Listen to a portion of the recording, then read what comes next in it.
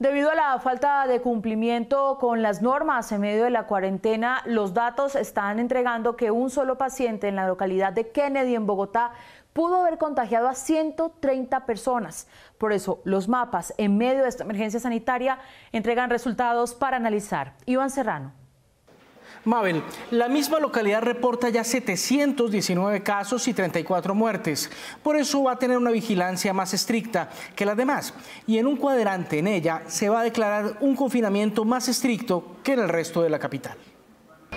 La COVID-19 llegó a Bogotá por el aeropuerto El Dorado y los primeros casos se registraron en las localidades de Usaquén y Chapinero, según información oficial de la alcaldía de la capital. La enfermedad, que en un principio se localizó en sectores de estrato medio alto, empezó a propagarse de norte a sur por el occidente de Bogotá. Las localidades con más contagios a corte de hoy son las siguientes. Kennedy, 719, Suba, 416, Engativá, 338, Usaquén, 309, Bosa, 307.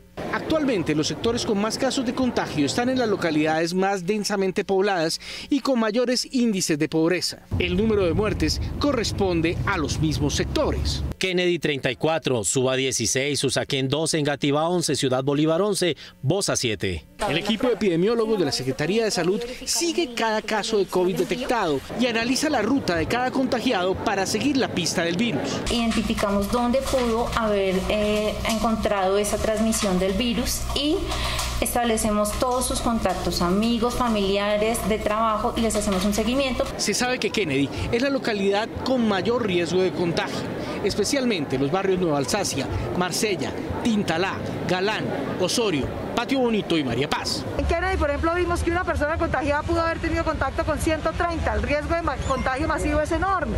En total, en Bogotá hay 3.824 casos de COVID confirmados, 225 más que ayer.